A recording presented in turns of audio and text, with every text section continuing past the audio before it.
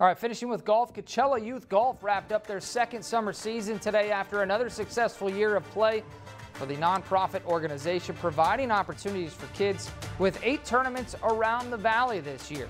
Players of the year were the for the girls were Hannah Bagnell and Kira Cassidy. For the boys, you got Kent Carlstrom and Hunter Hansen. So congratulations to all of them. Special shout out to Odie Vincent and Dave Mankey, the co-founders of CYG and the hardworking tandem providing the video, pictures, and everything else. Golf is great, and well, this is an example of truly growing the game.